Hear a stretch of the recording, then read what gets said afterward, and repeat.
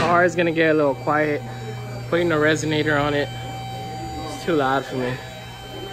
After an hour, I can't stand it. Now I have to cruise it at 60, so. Putting a high flow cat, uh, got rid of the raspy, the raspiness, um, but still loud, but it's bearable. Um, slice is off. Uh, I got a new job, and the job where I work uh, has a big ass dip.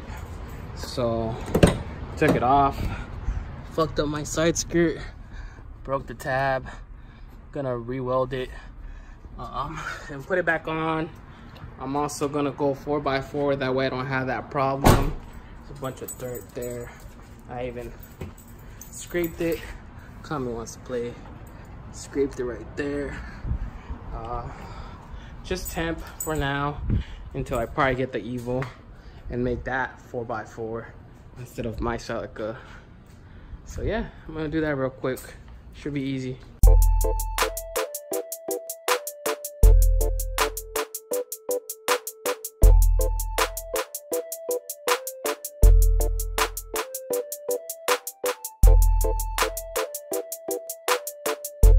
Remove this plastic thing.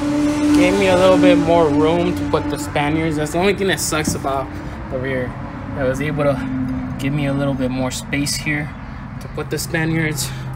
So yeah. Once that is done now I just gotta do three more. Fuck me